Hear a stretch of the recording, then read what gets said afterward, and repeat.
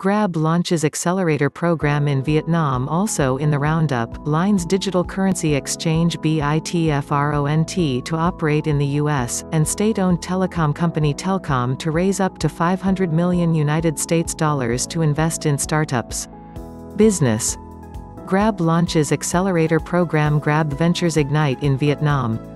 Grab announced that it has officially launched an accelerator program, Grab Ventures Ignite, for early-stage startups in Vietnam as part of the Grab for Good development roadmap. Grab Ventures Ignite will nurture and support promising Vietnamese startups in their journey to become national champions in Vietnam's tech startup ecosystem, in line with the government's national strategy to create 10 technology unicorns by 2030, Grab said in a statement, as reported in DealStreetAsia. The six-month program has welcomed a partnership with Vietnam's National Innovation Center, an entity under the local investment ministry, to execute the initiative together. GVI also collaborated with Gobi Partners, Vietnam-based Toong co-working space, law firm YKVN, and Amazon Web Services to provide support to startups. According to Grab, participating startups will benefit from a curated immersion program hosted in Singapore by Infocomm Media Development Authority and cross-border sharing with the startups in the Lion City. Up to five selected winners will be offered up to 150,000 United States dollars in investments and in-kind benefits. The application process is open until April 10, 2020.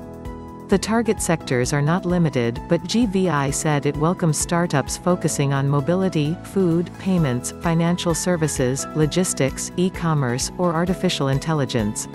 Line-owned digital currency exchange BITFRONT expands to the U.S. As part of the continuing expansion of the Line token economy, Line Corporation has launched BITFRONT, a global digital currency exchange based in the U.S. Operated by LVC USA, a subsidiary of LVC Corporation, BITFRONT provides a fiat to crypto and crypto to crypto market for the US dollar. BITFRONT will become the main digital currency exchange platform for Line's token economy. Previously, Line operated the global digital asset exchange Bitbox, a crypto-to-crypto -crypto exchange based in Singapore. However, Line has decided to expand its services and become a full-fledged exchange that includes fiat to crypto markets, aiming to spur the usage of blockchain by lowering the barriers to cryptocurrency adoption. By linking other exchanges and order books, BITFRONT provides deep liquidity and users will be able to trade in US dollars by linking their bank account.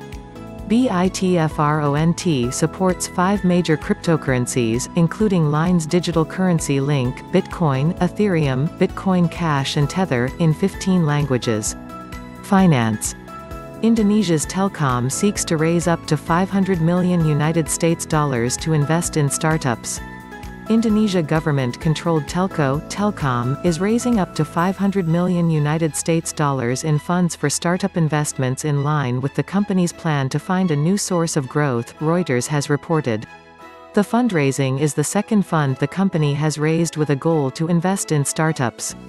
Budi Gunadi Sadikin, the Deputy Minister of State-Owned Enterprises, said the fund is set to launch soon and is targeted to be around 300 million United States dollars to 500 million United States dollars in size. This is important because telecom is an industry with very high capital expenditure with declining EBITDA earnings before interest, tax, depreciation and amortization, and flattening revenue, Sadikin said. We have to move on from only digital infrastructure to digital platform and digital sources.